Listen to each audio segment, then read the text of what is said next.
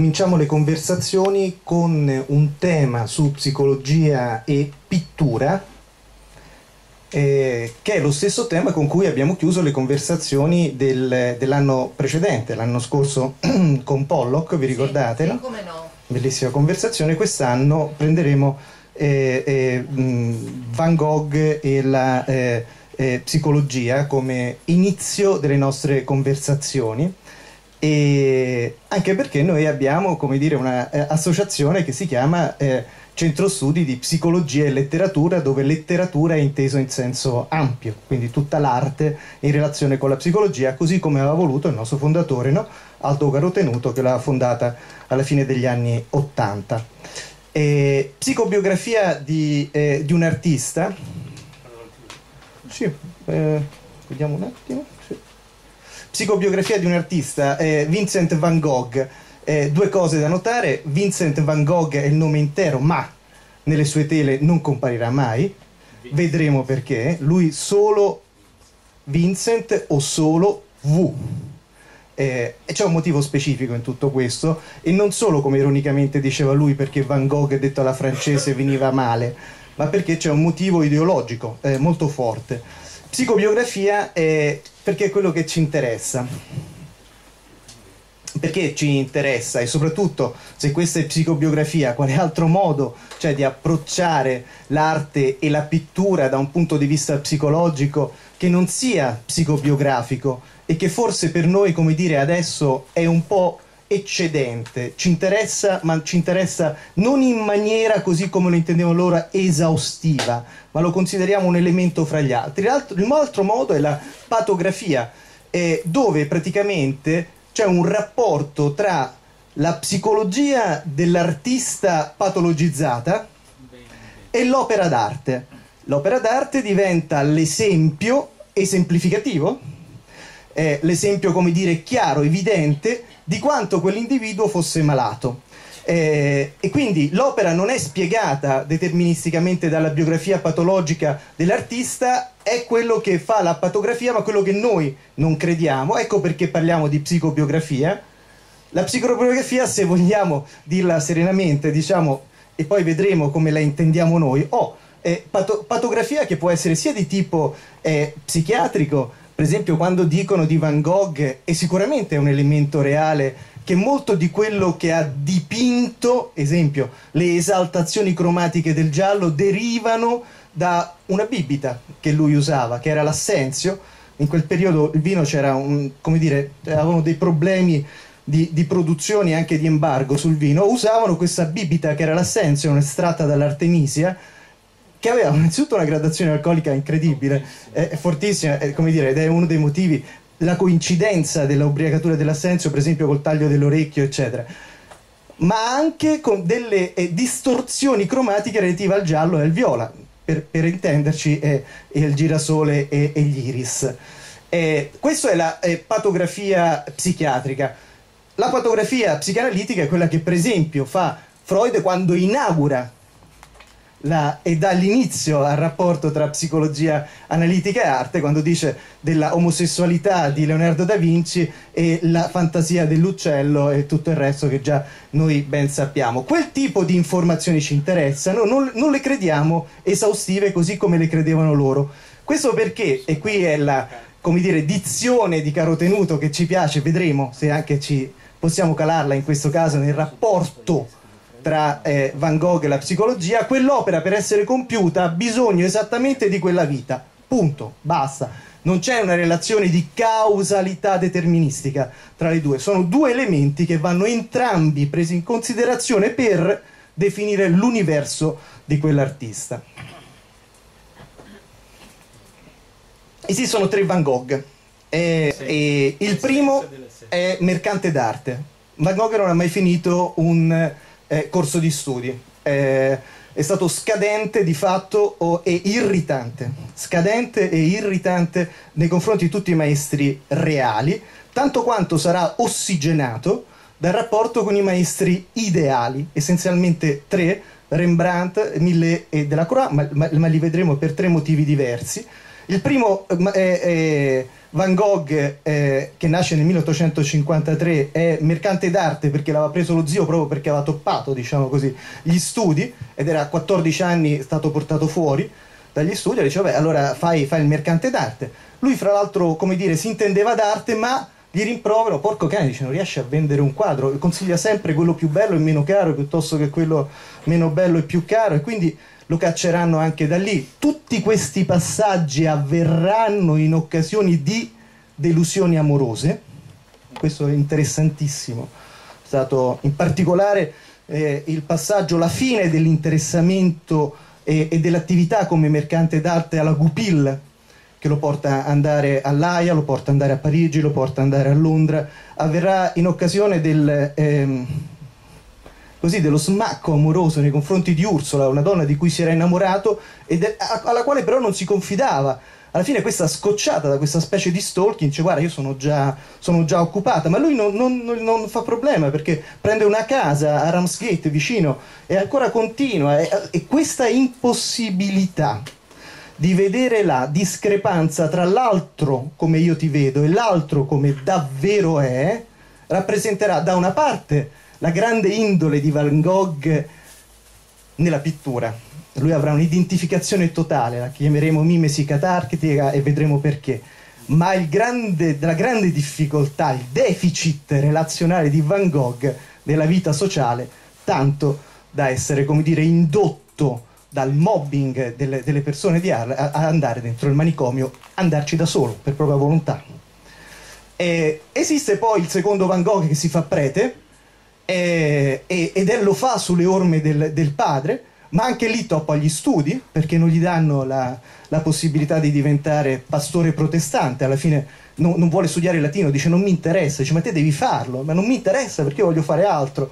E allora va da solo nel miniere del Borinace, che, sono, che è una zona del Belgio, eh, dove si dedica per più di un anno a stare con, eh, con i minatori riesce ad avere una sovvenzione da un, eh, da un istituto laico religioso che gli dà una casa, gli dà dei vestiti, dice no, non voglio né la casa né i vestiti, va a vivere tra i minatori. E questi qua dicono, beh, ma così disonori anche, come dire, la nostra associazione, eh, disonori, come dire, il compito religioso missionario che ti sei dato, gli tolgono la sovvenzione, lui sta lì un anno senza neanche la sovvenzione di questi, di questi religiosi, e alla fine, sempre per quel passaggio amoroso con, con una persona che si chiama Kay, che è una cugina, eh, decide di lasciare questa seconda fase, diventare pittore. Cosa succede? Diventa pittore. No, volevo andare un attimo indietro. Indietro, indietro. Diventa pitto, pittore e cosa fa in dieci anni? Perché lui muore suicida a 37 anni. Quindi dai 27 anni ai 37 anni praticamente fa quelli che sono rimasti 1900 dipinti e 1000 disegni e questo è uno dei più belli iniziali. In realtà ne fa 2000 di disegni di cui 1000 vengono usati ne, nelle maniere più come dire impensate. Ultimo per esempio dal, dallo psichiatra che, che, lo cura che lo usa per tappezzare il manicomio de, nelle parti forate del, del tetto perché non sapeva cosa farci proprio di quei disegni. Quindi in questo periodo di 10 anni fa una produzione immensa Cosa succede però? E questo mi colpisce molto. Risa che funziona questo, guarda un po'. Ah, ora sono autonomo. Grande. cosa succede? E naturalmente sulle diapositive non sarò come tutte su questo, ma era per iniziare, poi è fantastica questa, questa storia. Perché lui a un certo punto dipinge, è bravo, e cosa succede? Va eh, all'Aia, dove c'è un zio famoso, Mauv, eh, che fra l'altro fa dei dipinti verissimi molto, molto belli, e lo prende proprio a ben volere perché lui è talentuoso. E, e allora cosa fa? Gli insegna innanzitutto a dipingere, lui sapeva fare solo eh, dei dipinti a matita e gli dà la tavolozza, prima l'olio e poi tutto il resto, ma fa di più insieme al fratello Teo, gli mette anche lo studio, lui avrebbe svoltato, di fatto a 28 anni avrebbe il suo studio, avrebbe come dire il tutor che sarebbe Mauva e aveva anche le prime commissioni. No, non ce la fa, non ce la fa, è anticonformista e si boicotta in tutti i modi prende questa signora che è una prostituta che si chiama Sien che non solo è prostituta, è avanti negli anni, quindi non riesce neanche più dire, a vendere il suo corpo, quindi fa le, pulizie, ma ogni tanto, come dire, a basso mercato continua a prostituirsi, non basta, ha un figlio, non basta, ne sta aspettando un altro, la prende da sé e fa arrabbiare tutti, fa arrabbiare il padre prete, fa arrabbiare Mauv che gli ha detto tu sei un vizioso, basta, a te non ti do più niente, fa arrabbiare Teo che non gli invia più i soldi, ecco lui verrà, non venderà mai un quadro, eccetto le vigne rosse, e verrà sempre sovvenzionato fino a 37 anni dal, dal fratello Teo, e cosa succede? Lei diventa la modella, questa è Sienne, fra l'altro una modella non bella, è evidente, insomma, ma con cui farà dei, dei quadri splendidi, questo è Soro, Tristezza, qui parla inglese perché è da poco tornato da Londra, no? vi ricordate? Eh, nel 90 fino, al 90 fino all'80 stava a Londra, adesso sta cominciando questa prima fase che lo porta fino all'85 a stare in Olanda come, come, pittore e comincia a fare questi disegni ancora a matita, quindi non ha ancora preso del tutto la lezione di, di Mauve. Deve andare naturalmente a far arrabbiare tutti, e, è lo stesso Mauve che, che, gli toglie lo studio, quindi deve lasciare Sienne perché il fratello minaccia di, di, di non dargli più una lira. E, e ritorna dove? Ritorna a vivere col padre, il quale ha, come dire, una parrocchia a Neunen in, in Olanda e tutti i quadri che farà adesso saranno in polemica contro la religione ufficiale del padre. Guardate questo, lasciando la congregazione della Chiesa riformata di Neon, che era la Chiesa riformata di cui il padre era pastore, ad esempio. Su questo, fra l'altro, scrive delle lettere bellissime, ecco questa è la grande possibilità di seguire la via pittorica pittorica di, e la crescita pittorica di Vincent in parallelo con la descrizione che di quella strada dà nel frattempo nelle epistole 668, 668 inviate a Teo. E qui, questi, eh, c'era un campanile, questo crolla e naturalmente per lui simbolicamente il crollo del campanile della vecchia chiesa di Neonen, come dire, ci, ci sguazza, naturalmente, gli pare, gli pare che sia veramente il simbolo di un modo di intendere la religiosità, che era una religiosità formale, che era quello che l'aveva, come dire, costretto a stare nel Borinage, nelle, nelle, nelle miniere del Borinage da solo, e che lui veramente disprezzava, benché il sentimento del sacro, questo cercheremo di dimostrarlo, è forse l'elemento costante di tutti e tre i Van Gogh. Questo probabilmente doveva essere ai suoi occhi eh, il, eh, il, quadro che avrebbe dovuto portarlo alla, eh, alla fama. Perché ridi? Ma in, in realtà eh, la, la, ci sono alcune caratteristiche che vedete. Allora, innanzitutto, eh, sempre per quanto riguarda la religione, lui espressamente dice nelle lettere: guardate, eh, lui ha questi tre grandi pittori ideali. Questo è, è come l'ultima cena di Rembrandt, però con un Cristo, come dire, personificato all'interno dei eh, contadini, dei mangiatori di patate. L'ambiente è tetro, è claustrofobico, dismorfico, no? Vedete queste manone, eccetera quando lo presenta, siamo nell'85, quindi immaginate questo periodo di 5 anni in cui lui è andato prima eh, all'Aia dal, dallo zio Mauv, poi è ritornato a Neunen dal, dai genitori, poi in realtà prende una casetta dal eh, cappellano cattolico della chiesa vicino, quindi fa arrabbiare di nuovo tutti i genitori che non me lo lascio neanche dire, continua a dipingere in questo modo, cambierà completamente nella seconda fase, quando da eh, Van Gogh olandese diventerà il Van Gogh francese acquisendo le caratteristiche diciamo tipiche, colore eh, e, e, luce di quei pittori, essenzialmente di quei pittori impressionisti. Questo quadro è un disastro. È un disastro agli occhi del... naturalmente adesso è supervalutato, ma agli occhi della critica viene massacrato.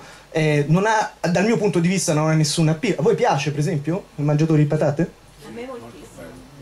Ah, moltissimo. moltissimo, vedi? Sì, Ah sì? È uno di quelli che mi ha colpito di più quando ho visto lo slow Ah sì, eh? Ma, Ah. ma il problema Ah, sì? è, è far vedere diciamo, la miseria, la distorsione quasi somatica Sì. della miseria, che Certo. deve essere proprio uno, uno schiaffo. e che lui sentiva moltissimo e sentiva e in questa fase ha come ideale mille teniamolo presente perché poi vedremo delle trasformazioni straordinarie dei quadri di Millet che, di- che dipinge in questo rifatti però dal Van Gogh provenzale e allora diventeranno delle, delle cose di una, di una come dire Nelle luci di questo quadro c'è una nota polemica nei confronti di del grandissimo Caravaggio, Tieni, tieni, esatto, le luci bravo, caravaggesche che vengono, sì certo, vengono reinterpretate in maniera assolutamente oscura, eh, patatosa se vogliamo dire, così, perché si, si respira quest'aria. Però guardate le luci, eh, con, con ehm, Caravaggio noi abbiamo i giocatori, no? si vede quella lu- le luci di Caravaggio sono formidabili, fondamentali e sono l'entrata sempre dello spirito sulla materia, il lavoro che Caravaggio ha fatto con le luci è questo. Polveroso però. Lui qua invece no, lì qui c'è la, eh, esatto, è claustrofobico. Esatto. È, è chiuso e c'è un tentativo di illuminare la scena, ma non è la luce che poi noi vedremo in Caravaggio, cioè eh, prima c'è stata in Caravaggio. Su questo quadro lui fra l'altro è stato anni perché ha fatto per esempio questo disegno qui di donna in numerose eh, prove precedenti e veramente per lui doveva essere come dire la, la sua entrata nel mondo dell'arte come dire dalla porta principale sarà per invece un, un- un- un calcio nel sedere madornale e lui si renderà conto questo sarà una grande capacità perché gioca poco con la luce e, e troverà la formula nel contatto con, con gli impressionisti di Parigi. Natura morta con Bibbio, questa appena l'ho visto um, eh, ad Amsterdam, scusa se faccio questo riferimento personale Luca, eh, l'ho mandato subito eh, a Luca che viveva un momento di, di questa- di questa- di questo tipo, eh, anche lui. Eh, luce spenta, Bibbia, e chi può essere? Morte del padre, morte del padre, romanzo di Zola. Eh, la chiameremo ehm, usando un linguaggio di Recalcati che si è molto interessato alla vita e alle opere di Van Gogh, supplenza simbolica. Ed è detto in parole semplici questo: eh, nei confronti del mondo non posso avere un contatto eh, immediato, naturale, spontaneo. Il mondo così come mi si presenta è senza significato. Per potermene emozionare, per poterlo vivere, ho bisogno di integrarlo con eh, elementi di significato totalizzanti in cui io posso, come dire, interamente dedicarmi. E lui cosa dice in questo modo al papà? Papà, guarda, io ci ho provato con, con la Bibbia, però c'è una dimensione del verismo, fra l'altro il padre è Theodorus di nome come Teo, come il figlio, eh, il fratello minore di, di Van Gogh, come dire, odiava i romanzi eh, veristi francesi perché eh, immorali, naturalmente. La mia via per accedere, supplenza simbolica, per accedere al mondo è un'altra. Non esclude questa, ma la personalizza.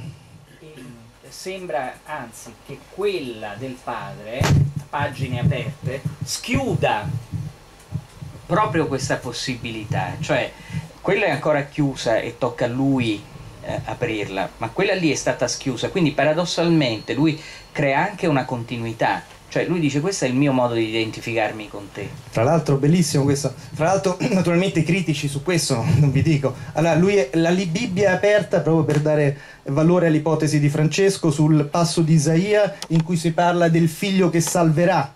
Quindi un figlio che non può avere stesse, eh, il stesso sistema valoriale precedente, ma deve sovvertire per salvare, ed è esattamente quello che fa lui. E invece il libro di Balzac eh, sarebbe un libro sulla disgregazione, è stato visto il titolo, mi pare che sia La gioia di vivere, eh, è stato visto il titolo ed è la- sulla disgregazione della famiglia borghese di quell'epoca, quindi in realtà ci troviamo esattamente in quella dimensione archetipica di cui parlavi. Definiamo un attimo supplenza simbolica, giusto per dare dire, una struttura anche teorica no, a quello che stiamo vedendo. I quadri naturalmente la fanno da padrona, ma noi possiamo introdurci psicobiograficamente con qualche idea in più su questo, eh, su questo personaggio, su queste opere. Quindi si può connettere alla realtà, dicevamo con Luciano, solo attraverso rifornimenti di senso personali e totalizzanti. Quali sono le due supplenze simboliche? La religione è come pastore, ma non è andata, è l'arte è con tutta questa produzione, ma solo se personalissimamente intesi. Eh, stiamo quindi nell'ultimo periodo, periodo olandese. Siamo nell'ultimo periodo olandese. Van Gogh sente la necessità, dopo quello smacco che veramente ha subito sulla propria pelle dei mangiatori di patate, che non ha avuto per niente successo, nonostante lo studio enorme dietro che ha fatto, di avere qualche maestro, qualche maestro reale. Va ad Anversa, va al corso di pittura più importante mitteleuropeo, da questo corso più importante mitteleuropeo si farà cacciare, ovviamente, no? perché fa, fa così. Eh, nel frattempo però la, la, sua, eh, la, sua, dimensione cromatica cambia, eh, guardate Tessera prostituta che fra l'altro oltre a dire della dimensione cromatica dice anche, come dire, ormai del viraggio che ha fatto, non cerca più donne, Ursula Chi, ma si, si dedica diciamo più, come dire, ai bordelli. E questa passione per i bordelli che condividerà con gran parte del, eh, dei suoi, come dire, eh, pittori contemporanei, lo porterà fino alla fine eh, e lo accompagnerà fino alla fine dei suoi giorni.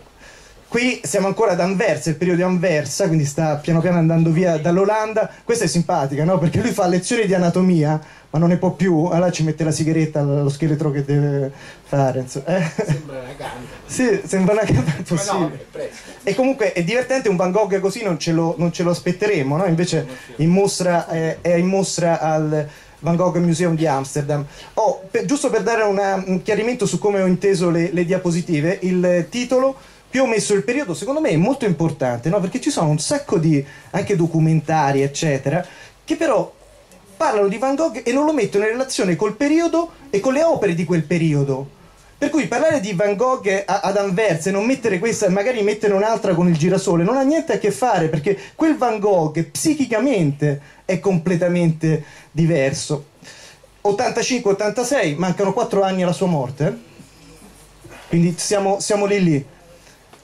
Eh, il, e qui invece il museo dove, dove è tenuto, vedremo eh, com'è, com'è la questione, 200 quadri stanno, principali stanno a Amsterdam perché il patto tra Teo e Van Gogh era questo, tu mi dai i soldi, Teo, Teo a Van Gogh e Van Gogh gli dava i quadri.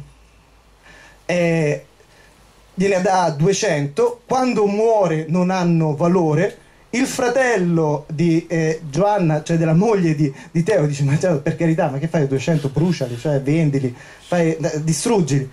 Non lo fa, da grande imprenditrice, lei creerà il mito di Van Gogh. La cognata, la cognata, la cognata Giovanna.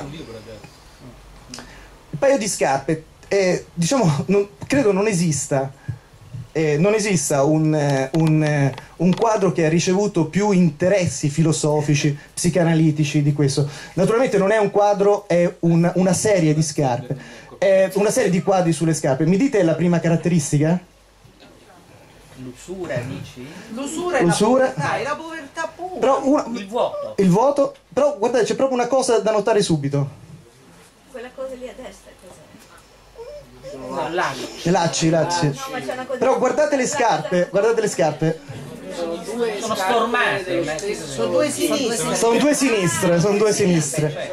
Bene, Heidegger che, che, vide questo, questo, quadro ad Amsterdam, scrisse uno dei libri, come dire, sull'arte più importanti, più criticati e che ebbero più seguito tra tutti quelli che sono stati scritti eh, sull'arte, dicendo che questo rappresenta, come dire, la trasformazione dell'oggetto in simbolo. Lui naturalmente non parla con questi termini, noi comunque ci ritroviamo con questo linguaggio.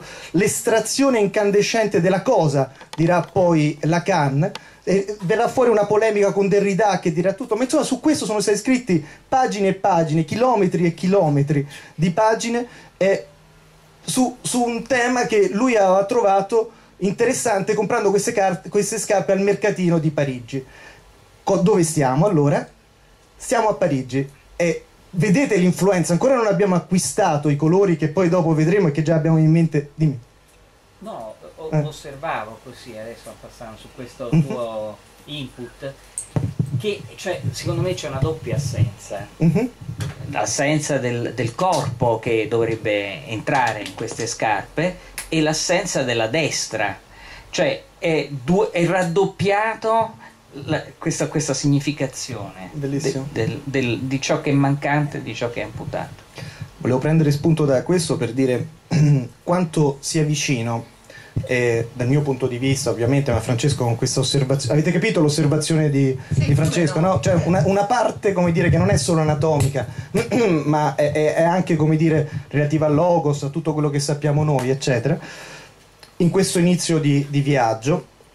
Quanto è vicina, dicevo, la possibilità eh, di avvicinarci dal punto di vista della psicologia a questi quadri con quello che si fa nel setting, con quello che si fa con l'interpretazione dei sogni, con quello che si fa con l'interpretazione delle fantasie. Se c'è un motivo, uno, per cui la psicologia del profondo si emoziona, ma si emoziona davvero eh, per queste immagini e, e, per tante altre, diciamo, eh, di questa natura e riesce a dare un contributo utile alla loro interpretazione perché frequenta il setting, questo è il nostro punto di vista, mi sembra.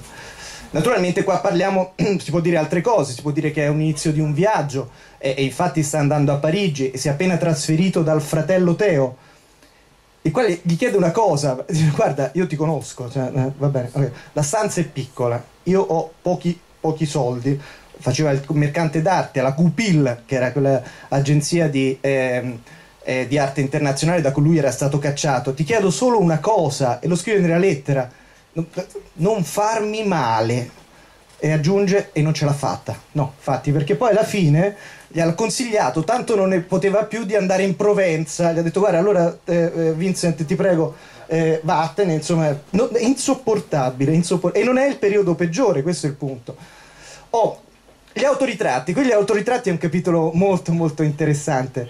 Eh, guardate l'inizio, siamo nel 1885, ehm, lui si fa crescere la barba, se la fa crescere perché sta in Olanda, eh, vive da solo di fatto, insomma, eh, va, sa di andare in un centro culturale importantissimo, non ha un dente.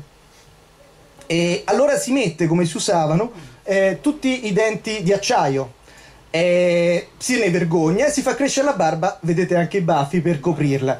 I colori, I colori, sono ancora quelli però che stavano, che sta, in cui stava Madame Versa, vi ricordate la prostituta? Un po' più addolciti rispetto al mangiatore di patate, il tratto assolutamente molto più preciso, eh, però come dire dal punto di vista cromatico e della luce ci troviamo ancora in quell'epoca pur essendo andato lui eh, a Parigi. Vi faccio vedere, eh, la storia degli autoritratti è, è fantastica, eh, la progressione degli autoritratti che rappresenta una progressione di consapevolezza individuativa e professionale da parte di Van Gogh, il quale lascerà Parigi da pittore. Qui siamo nel 1887, succede una cosa strana, il fratello Teo va via, un po' perché deve lavorare, un po' perché la vicinanza con Vincent è stata una cosa tremenda e lo lascia solo per diversi mesi. Lui compra uno specchio, pensate la psicanalisi su questo cosa può dire, e, e comincia a dipingere. Ma cosa fa? Prima comincia a dipingere colorando delle tele eh, di un altro corso che aveva f- frequentato da Cormon dove andavano tutti gli impressionisti tra cui lo, tutto l'Usurtrek eccetera e che aveva lasciato guardate caso dopo due mesi arrabbiato perché gli faceva fare la, la pittura il, il, dipinto dei calchi dei nudi che lui proprio non sopportava. Quindi copre quella e dipinge sopra. Poi comincia a dipingere nel retro delle tele del periodo olandese e sono 38 i dipinti, i dipinti che farà in tutto, poi comincia a comprare le tele per dipingere se stesso. Cosa succede alla fine? Questo siamo nell'87, guardate come il puntinismo del, degli, degli, degli, impressionisti sta come dire, comparendo e soprattutto la cromaticità no? cambia, fantastico, no? E cosa succede? Lui va via nell'88 da Parigi con questa tela con questo autoritratto che è l'ultimo che farà lì e cosa, cosa succede qui? Me lo dite voi? Eh, c'è la tavolozza. La prima volta che lui ha un'identità professionale. Ok, va via da Parigi che ha un'identità professionale. Autoritratti sono 35 in tutto, 28 a Parigi, quel, in quel, soprattutto in quel periodo in cui è andato via Teo, e questo periodo dello specchio benevolo, dello specchio benevolo. 4 ne farà a, ad Arles, 3 a Saint-Rémy, questo che abbiamo messo all'inizio è quello di Saint-Rémy, ce n'è un altro invece, l'ultimo proprio, in cui sarà tipo camicia di forza, tristissima, ed è lì è l'unica senza barba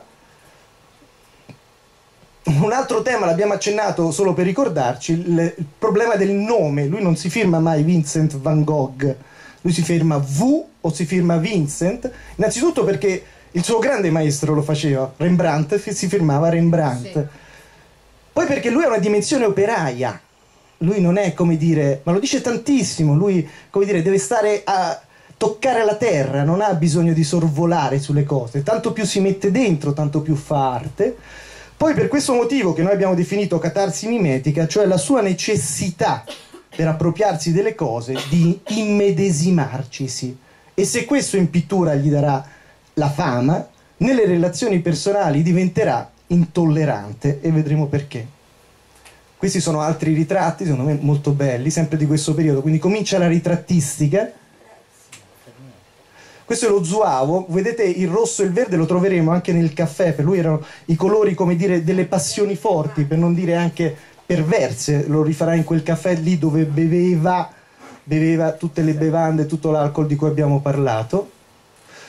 Qui è, è Agostina Segatori o Segatori, eh, lei è marchigiana in realtà, eh, ed è il caffè dove andava appunto ad ubriacarsi in quel periodo a Parigi e dove andava anche a fare le mostre, perché esistevano due tipi, due grandi classi di eh, impressionisti, lui non, non, è mai, come dire, appartenuto a nessuna classe, però insomma stava con eh, Gauguin e Lautrec, ed erano il Petit Boulevard e facevano le cose più dimesse, eh, come dire, mostrando le loro opere all'interno del caffè di Agostina Segatori, che è stata sua amante ma poi l'ha fatta cacciare dopo un paio di giorni con, dal, dal, successivo amante. E da quel momento lui disse che non voleva più avere a che fare con donne se non prostitute. Infatti il successivo amore fu Gauguin fu un uomo di fatto naturalmente idealista, idealizzato però eh, non, non, non, si innamorò più di donne da dopo la Agostina Segatori. E c'erano poi i più famosi tra cui Monet e Seurat in particolare eh, che invece erano eh, il, Gran, eh, il, Gran, Boulevard e esponevano proprio da Teo. Eh, erano, quindi comunque lui frequentava la, dire, il jet set del, del, dell'impressionismo dell'epoca. Questa è la stessa persona? So se vi piace questo del... È una punk antelitteram, eh? Quale dici? punk, no. Qui dici? No, prima. No, con ah. tutti i capelli Effettivamente. Va bene. Lei è stata amante anche di altri pittori che gli hanno fatto altre, altri quadri. Qui era un po' avanti nell'età ed era, appunto divenne per poche notti l'amante anche di Vincent prima di buttarlo fuori, come gli succedeva sempre con tutte le donne. Ma vi immaginate un Vincent che fa Giandiro con coppie? Eppure c'è, a Parigi fa questa cosa, sfruttando naturalmente la tecnica della luminosità, del puntinismo, degli impressionisti. Questo è considerato uno dei quadri meno meno belli, diciamo, a me invece piace, ma mi, mi, mi, è piaciuto come dire inserirlo per dire a che livello di socievolezza e forse anche di gaiezza eh, e di sentimentalismo forse era arrivato. Qui frequentava ancora la Agostina Segatori. Qui era la vista dalla, dalla stanza eh, di, eh, di Teo, che condivideva con Teo. Molto bello, mi sembra anche questo. Eh, cosa succede? Allora, abbiamo detto che è stato eh, a Londra quando è diventato eh, mercante d'arte, poi è dato nel Borinage quando voleva, voleva diventare... Ah, va bene, va bene. Allora, ci siamo, ci siamo. Quindi è andato nel Borinage quando era eh, sacerdote, all'Aia quando ha cominciato a dipingere e poi comincia un percorso alla ricerca del sole, sempre più in zone più calde, tant'è che Recalcati, che si era interessato, l'ha paragonato a, a Icaro. E prima a Neunen va bene, Anverso e Parigi, e poi in Provenza ad Arles e Saint-Rémy. Infine ritornerà a Parigi, ma qui si ucciderà. Nella supplenza simbolica, così l'abbiamo chiamata, questa Vincent ha espresso il suo misticismo appunto proprio in forma di ricerca del luce, della luce colore ed è lì diciamo che arriva sempre più in avanti. Oh cosa succede? Allora Teo non ne poteva più. Eh, va quindi eh, via da, da, Parigi. Teo non ne può più dice guarda però si può andare in, in Provenza dove c'è caldo. E invece in realtà trova tutta neve. Eh, lui sfruttando alcuni studi che aveva fatto sul, sul Giappone comincia a fare delle ricerche non più sperimentali come aveva fatto a Parigi, ma applicate alla natura ed è qui il pesco in fiore che credo tutti conosciamo. Dipingerà il pesco molte altre volte, ma sì. due importanti, diciamo. Nel 1888, sempre per Mauve, è quell'unico pittore con cui avrà riconoscenza, quello che gli aveva messo lo studio, e lui dentro ci aveva messo praticamente la prostituta. Eh, e poi per la nascita del nipote Vincent. Se si può dire, dare una definizione di questo periodo, ehm, questo è il ponte di Langolo A e ne farà molte copie, possiamo dire che questo periodo, e qui il simbolismo ci aiuta veramente molto, è un periodo di unificazione di opposti, è un periodo pontificale, è un periodo, e qui c'è una figura nera che, che attraversa, la attraversa su un, un segmento, diciamo anche eh, sì stabile ma comunque eh, mobile, è un periodo come dire di reversibile stabilità ma comunque di stabilità. Dicevamo dei, eh, degli autori su cui lui si è mh, riferito, questo Millet, guardate l'immagine del contadino e guardate la sua, eh, quella di Van Gogh, la sua diventa una vera e propria agiografia, questo diventa un santo. Allora il sole che tramonta sulla testa del contadino, il quale nel frattempo semina, ma semina chicchi d'oro, è la agiografia di un santo. E guardate la differenza qualitativa, anche per, credo per la sensibilità di ognuno, no? tra la originale di Millet, che era appunto l'autore a cui eh, si riferiva, e la sua infinitamente no? più ricca dal punto di vista simbolico. Siete d'accordo su questo? Eh, no? Non Beh, mi piace? Millet, Millet aveva anche la sua profondità. Tra l'altro credo che fosse il periodo in cui avevano lui e la moglie avevano perso un bambino. Parli di Millet questo? Sì, e, e l'avevano seppellito. Mm. E quindi insomma questa immagine del seminatore al tramonto Ricorda. mm, aveva- A proposito della luce, guarda, Millet ha una luce che dal fondo illumina, c'è una luce. La luce invece qui in Van Gogh è piatta, non c'è una luce Sì. che crea il contrasto, che crea le ombre, è una luce molto piatta, molto uniforme. Sì, Se sì, sì. invece guardi Millet, hai sulla destra uno sfondo luminoso che manda Questo luce Sì. e, e- e che crea quindi eh. anche lo spessore della figura. eh. Quindi c'è un'apertura in Millet e invece in lui c'è questa L'invasione della luce. che è Bello. diffusa e dovunque. un Bellissimo. Bellissimo, bellissimo. Proprio di questo parliamo, parliamo del periodo in cui eh, Van Gogh è invaso dalla luce e anche dall'ottimismo quasi, a volte ingenuo di questo, di questo periodo di luce. La mietitura, lui sa di aver seminato, ha come dire, fatto molto, molte- molti corsi, ha, fatto- ha sperimentato molto, ha indagato molto su di sé. In questo periodo lui rende, fa una quantità infinita di quadri splendidi. Come si chiama quel quadro di prima? Questo qua è, mm, è Seminatura al tramonto. Il quarto, il quarto di Arlo. No, quello non quello di Van Gogh. Al tramonto. Seminatore al tramonto. Sì. Ah, ok, seminatore al tramonto. Mm, Io questo lo trovo fantastico. Sì, sì. Fantastico. Oh, questo magari è, più famoso, è un po' più famoso rispetto all'altro, ma insomma è il periodo, come dire, ricco, opulento quasi eh, di, di Van Gogh. Dove sarà il, il problema? Che a questa opulenza, a questo ottimismo non corrisponderà mai nessuna, come dire, vera relazione, soprattutto dal punto di vista sociale, in grado di tenerlo.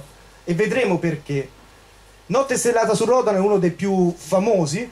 Tenetelo presente perché le farà la stessa cosa eh, all'interno del, del manicomio di Saint-Rémy e vedrete come questa serenità sarà pervasa da turbulenze concentriche, ipnotiche, che deformeranno la serenità di questo paesaggio. Quindi tenetelo prese- presente adesso. Qui, fra l'altro, non vi dico, ma c'è un'aneddotica importante: lui che si costruisce con le candele, che è anche un'immagine che cui siamo abituati, come dire, eh, a, eh, a vederlo rappresentato, eh, de- con delle candele, un, un- come dire, un cappello di paglia con delle candele per poter vedere la luminosità del cielo. Poi c'è, c'è chi ha studiato la posizione delle stelle e ha datato il quadro, vedendo una, una dis- sì, sul grande Eh, c'è carro, un grande un- carro, sì, sì. c'è un grande carro ma sfasato, quindi come se avesse fatto eh, eh, guardato, dipinto e poi rialzato gli occhi e c'è uno spostamento quindi di, di luce nel tempo, eh, però, tra un tratto e l'altro. tra un tratto e l'altro, Perché il sì, cielo non è mai fermo. certo. Eh, quindi certo. Quindi questa è un'altra opera su cui...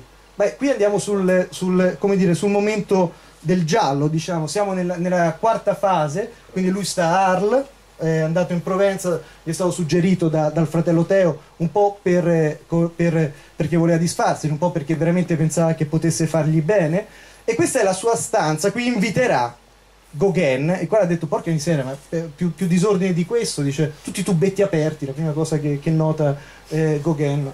Ehm, queste sono le sedie e vedremo il confronto pittorico tra la sedia dove si sedeva lui, e la dirà molto, dirà molto di- della sua personalità, la sedia al confrontata con la sedia dove si sedeva Gauguin. Eh, ci sono quadri, alcuni hanno analizzato anche che tipi di quadri sono, quindi insomma ogni opera ha una sua... Ma dove era posizionata questa, questa, questa stanza? Era posizionata in questa dimora di cui lui era orgogliosissimo.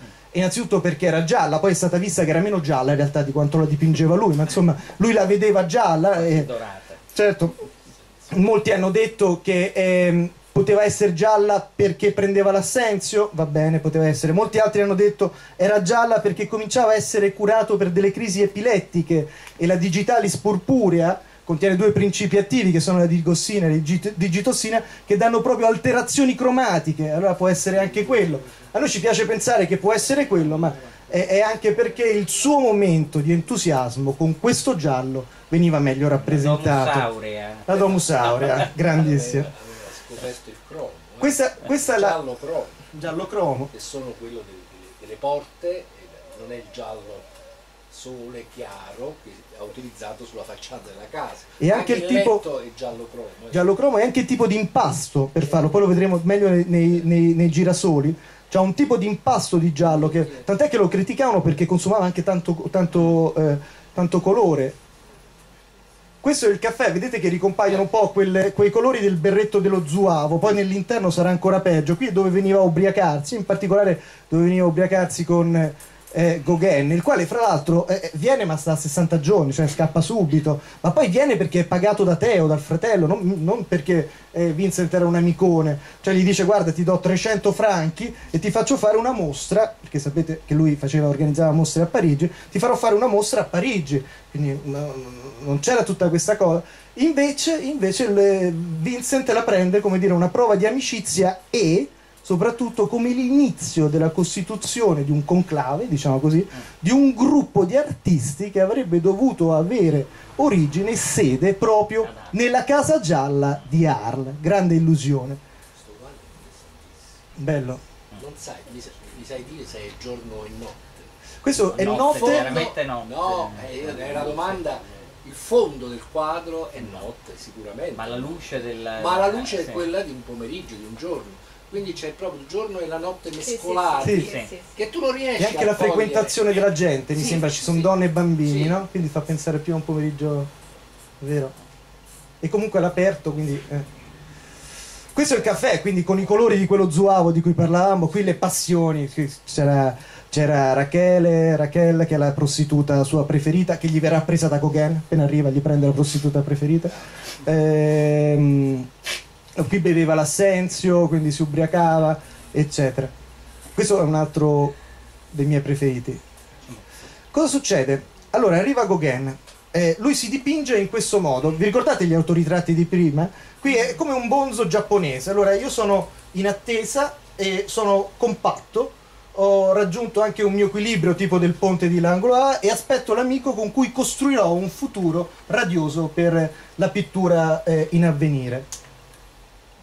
Poi ci sono tinte molto mm, riflessive. anche. Sì, guarda anche il, il taglio dell'occhio Eh. giapponesizzante, no? Sì, persino la cornea è Sì.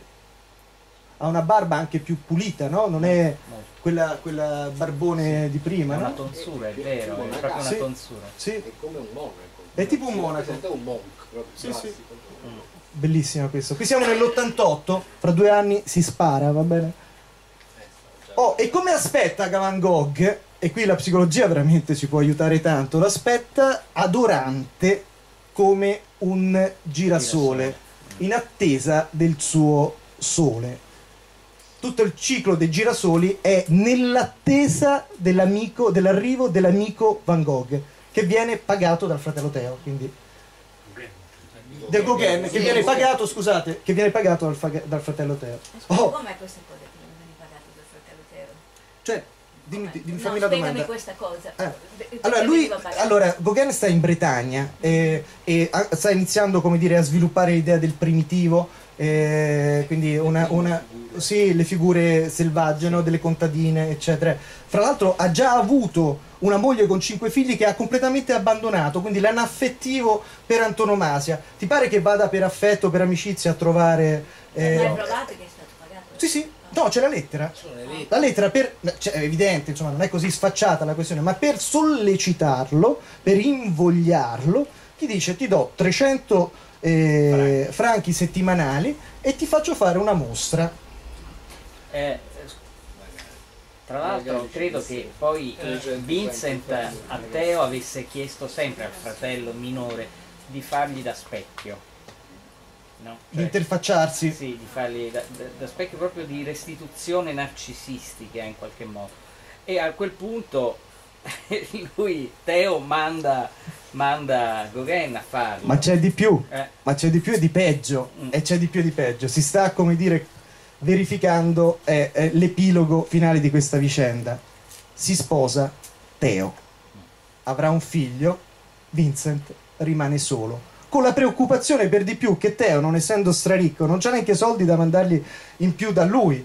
Quindi lui sta preparando qualcosa in attesa e vedremo che tutte le date, a cominciare dal taglio dell'orecchio, eh, per passare al tentativi di suicidio, per finire al suicidio vero e proprio, Sono avvengono in coincidenza di mancanze della presenza fantasmatica, narcisistica, vedremo, noi poi useremo un termine, del fratello Teo, con cui lui vive in simbiosi.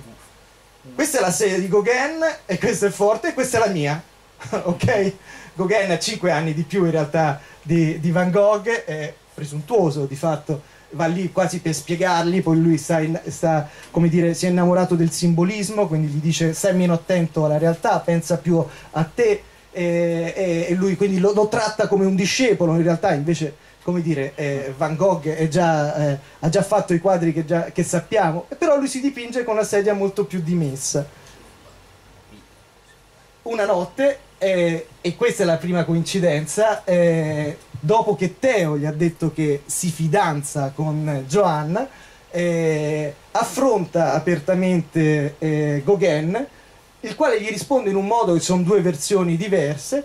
Lui ritorna, ritorna nella stanza gialla, si taglia l'orecchio, il lobo dell'orecchio sinistro, non contento, lo va, lo impacchetta e lo porta a Raquel, che era quella prostituta carina che lui amava e che Gauguin gli aveva preso. Perché l'ha fatto? Prima ipotesi, perché in Provenza c'era la eh, corrida, il taglio del toro era e, e soprattutto il lobo dell'orecchio veniva donato alla donna più bella. Ma in questo caso quindi lui sarebbe il toro matato e lei sarebbe la più bella? Prima ipotesi. Seconda, perché lui essendo girasole in questo modo è stato ferito proprio nella parte recettiva che più era in attesa delle, delle conversazioni eccetera da parte del sole Gauguin? Seconda ipotesi. Chissà, forse tutto questo insieme di fatto lui si taglia l'orecchio sinistro anche, e non ha... anche mettici tutto insieme, anche l'impossibilità di udire questa, questa notizia che rompe Certo. il, il suo equilibrio. Cioè, Cioè, quella di tutto- Teo parli, no? Sì, Certo, ovviamente. Di fatto, di fatto ci sono molte cose che poi veramente potrebbero essere indagate con, con grande attenzione. Da questo momento lui ascolterà meno l'esterno, si rifugierà in un interno sempre più, come dire, corvizzato. Mm. I corvi sono l'elemento dominante insieme ai cipressi dell'ultima fase e finirà pazzo in manicomio.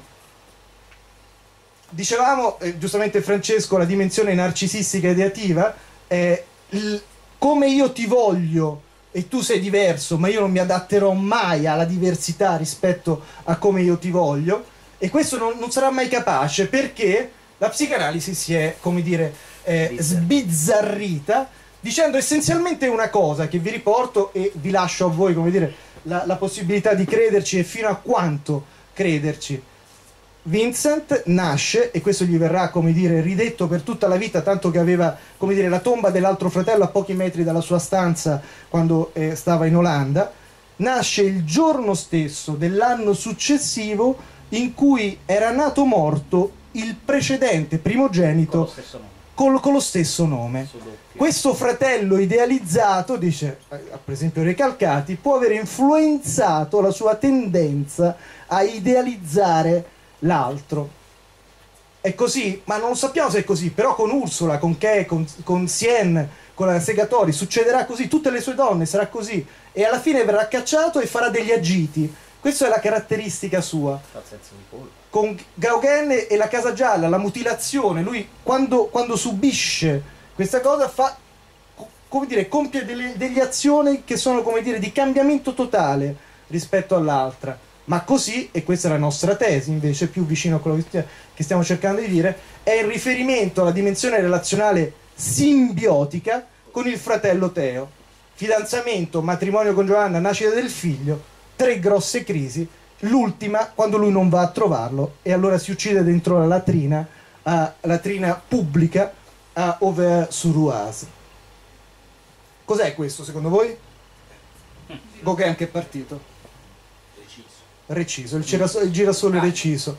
Cambia fiore e diventa, comincia, è il ciclo degli iris, mentre prima era il ciclo dei girasoli. Gli iris sono il fiore che sta all'interno del, ma- del manicomio di Saint-Rémy, dove viene rinchiuso perché la- è per una specie di mobbing fatto dalla popolazione di Ar, che non ne può più.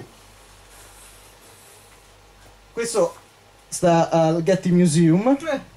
Quest'anno l'abbiamo visto. Una volta è stato il quadro più costoso del Oh, mondo. questo è fantastico, questo sul costo è fortissimo. Allora, questo 20 milioni di euro, è stato per tre anni il quadro più costoso, 60 milioni di euro, un quadro di Van Gogh, più costoso del mondo, il dottor Gachet, stiamo dicendo Psichiatra.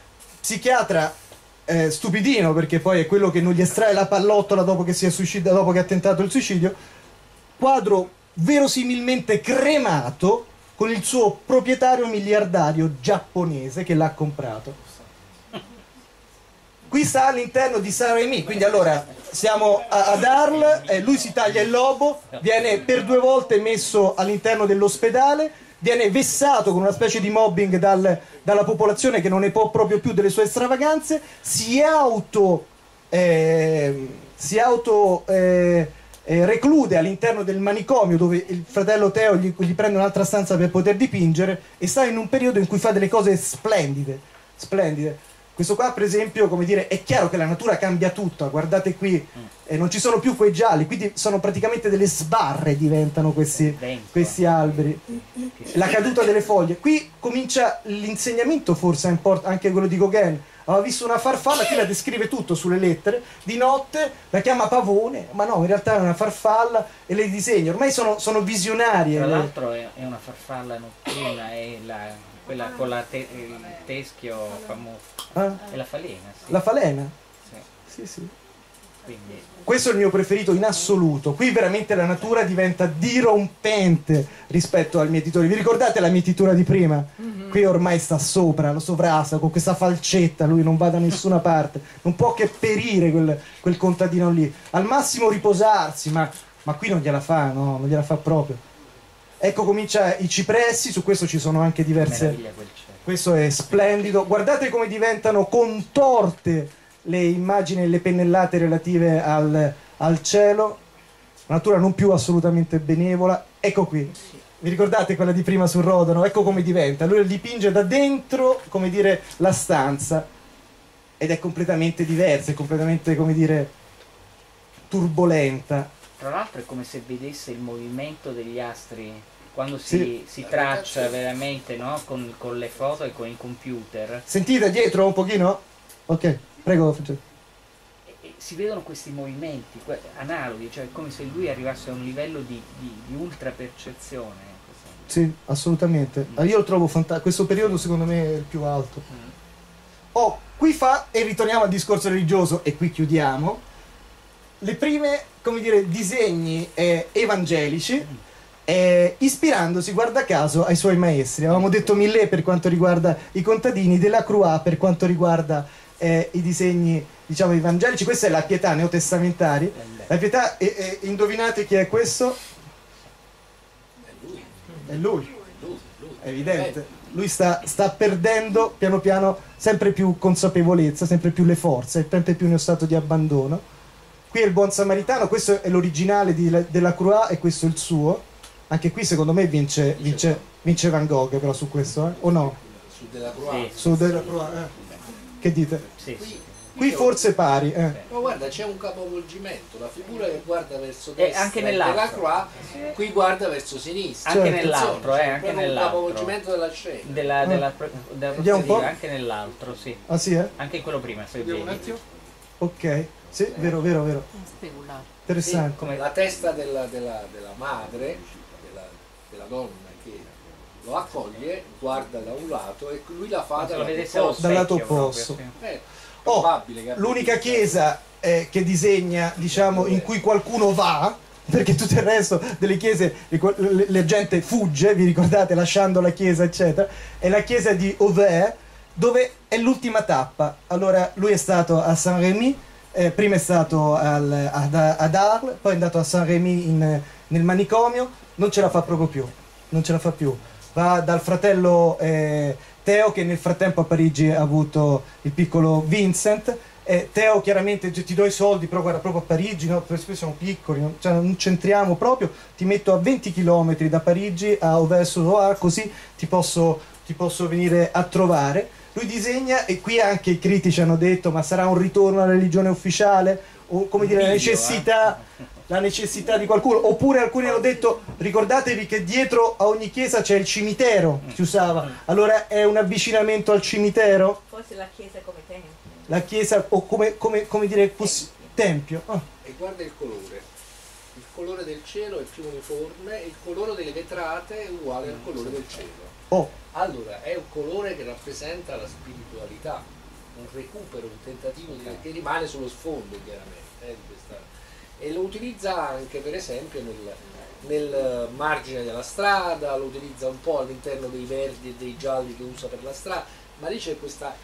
è come se questo cielo in cui gli astri si muovevano si fosse pacificato, tranquillizzato. o, o come dire mortificato Sono- no? mortificato. Questo, questo aspetto, questo aspetto di, di Luciano è importantissimo, lo vedremo esasperato negli ultimi quadri, siamo alla fine, in cui diventa la pittura quasi bidimensionale. Non c'è, non c'è più, come dire, prospettiva, non c'è più movimento. E, e poi c'è quasi un, ondula- un ondulare Sì. della, della- della- Sì, della sì. struttura, Eh, cioè vedi? è una struttura Cioè, parkinsoniana Sì, quasi. come, sì. come tecnica, Sì, la sì. strada è fatta con la puntinatura, Sì. il cielo recupera le la spatole, pennellata o la spada, Sì, recupera, sì, è Certo. diverso, insomma c'è questo. Oh, le- il- lo sfortunato eh, dottor Gachet, questo era la digitalis che gli veniva dato per l'epilessia, eh, che quando si ammazza dentro la latrina, in occasione del non, eh, della non venuta diciamo, di, di Teo che doveva andare con la famiglia, lui l'aveva visitato poco prima, era andato a vedere Vincent per la prima volta, il nipotino, eh, dice no però guarda oggi proprio non posso venire, vengo la prossima volta, lui prende una pistola che aveva chiesto al contadino per allontanare i corvi, perché lì era in, eh, eh, vicino Parigi e anche qui psicologicamente mi sembra che il, il Vincent infestato da corvi ci dà molte immagini. Va dentro questa latrina, si mette dentro la latrina pubblica, quindi si, si immerge nella cacca e si spara in basso, ma non muore. Non muore, quindi eh, aspetta lì e, e poi dopo va alla stanza, va dentro la stanza. Allora, eh, si accorgono che, che gronda sangue e cacca perché praticamente è maleodore. Arriva Gachet e che, inve- che, eh, invece di portarlo in ospedale sta lì con lui e chiama Teo. Quindi praticamente passa una notte e mezzo fumando. non vedevano l'ora che si Non vedevano l'ora. Sì. Non vedevano- questo era, mi pare, il quarto il tentativo di suicidio. Aveva, preso, aveva mangiato i tubetti, aveva preso la trielina, Sì. l'aveva fatte di tutte e veramente non vedevano l'ora. E lui parla, questo Gachet, eccetera. Tra parentesi sono le lettere, è fantastico. È un inciso, scusate se mi allungo, ma è divertentissimo. Quando Vincent parla di, del Gachet, dice, ma lui è più matto di me. Cioè, al fratello, ma non, non mi curerà mai. Sì, non mi curerà mai. Eh, questo, Questo è il mandorlo in fiore che porta- tanto, Siamo nel guarda. 1890, eh, eh, a- al fratello, al fratello eh, Teo in occasione della nascita di Vincent ed è chiaramente come dire riepilogativo penso Sembrano eh. farfalle quelle e qui è il periodo e qui do ragione a, a Luciano bidimensionale. Qui veramente è un'altra pittura qui cos'è surrealista? Sì, sembra, Radice- sembra sai che, No, scusi, tratto, sai che sembra anche molto il eh, naif quasi del, del um, eh, di Rousseau, sì. Ah, il doganiere. del, eh, del doganiere Rousseau. Rousseau, sai, molto. sta molto di questo. questo A questi sono ricorda, però questa è una citazione che faccio perché ma guardate che il prossimo numero della rivista uscirà con un quadro di Cyril che Ah, sempre certo. ci dà i suoi quadri e noi abbiamo scelto delle figure guardatela attentamente riguardiamo la foto Ah. E c'è una somiglianza incredibile tenete a mente e soprattutto comprate la rivista questo è il messaggio è chiaro no? Allora, radice e tronchi d'albero, oh, quindi la, la critica si, si- si disputa uno di questi ultimi tre quadri che vi farò vedere per dire qual è l'ultimo. Radice e tronchi d'albero, qui veramente non c'è più figura. Campo di grano sotto un cielo nuvoloso, il campo di grano tranquillo della mietitura non c'è più. E questo è quello che anche nei Ecco, film sì. viene fatto vedere, Con i corvi. campo di grano con corvi. Dopo di questo si uccide quadri clinici. È stato detto che alcuni, alcuni psichiatri hanno detto che la posizione principale è una posizione malinconica depressiva, altri hanno detto maniaco-depressiva, psicosi tendenzialmente per i tedeschi. Jasper ha fatto una splendida introduzione alle lettere e parla di Vincent come psicotico. Eh, epilessia soprattutto i francesi, Gachet l'aveva curato, con, abbiamo visto con, con la Digitalis. Eh, per, noi, per noi, e qui veramente chiudo, eh, il sentimento del sacro è quello che domina, domina tutte e tre i Van Gogh e lo domina potentemente. La supplenza simbolica, la possibilità di incontrare la realtà attraverso delle strutture che siano religione o arte, che siano personalissimamente intese.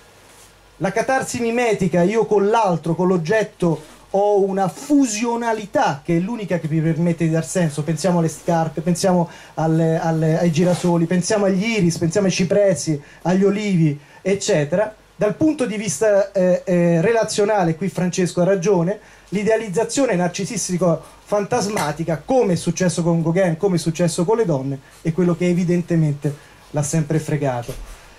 Questa è l'unica immagine da, da- da, mm, eh, da grande, a mio avviso e a avviso di molti, un, un falso. Dicevamo con, con Gilles che distinguere il vero Gauguin da tutto quello che c'è stato dopo, eh, mercato dell'arte compreso con gli 80 milioni per il dottor Gachet o i 20 dell'Iris, veramente è difficile. E qui mi è sembrato dire, giusto metterlo, questo è il periodo manicomiale no, di- con cui abbiamo iniziato e questo è il falso, come dire, il vero Van Gogh come dire, è molto più disperato, no? Eh, c'è qualcosa...